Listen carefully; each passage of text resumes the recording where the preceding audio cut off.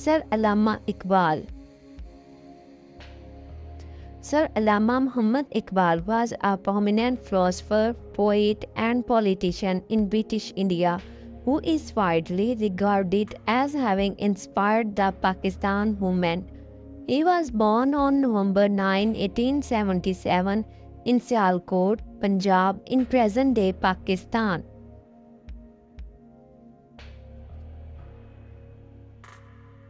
Iqbal was a brilliant scholar and received his early education in his hometown.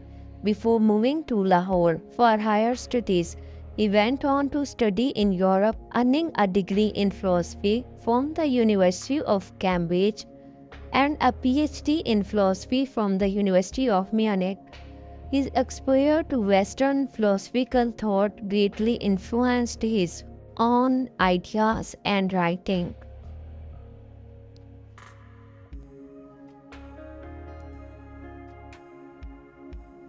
Iqbal was a prolific poet and is best known for his Persian and Urdu poetry, which often explored themes of self discovery, spirituality, and the revival of the Muslim world. His works such as Asrar Khudi, Secrets of the Self, and Bang-e-Dra, The Call of Marching Bell, are considered masterpieces of Urdu literature.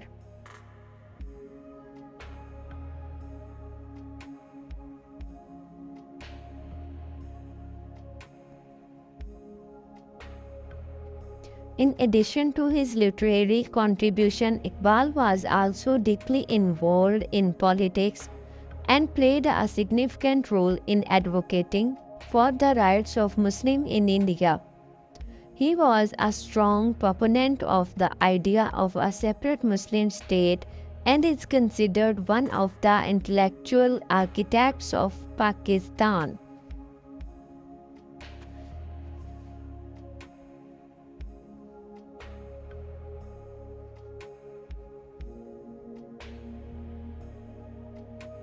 Iqbal was knighted by the British government in 1922 for his services to literature and was also member of the Punjab Legislative Council. His vision for a separate Muslim state eventually became a reality in 1947 when Pakistan gained independence from British rule.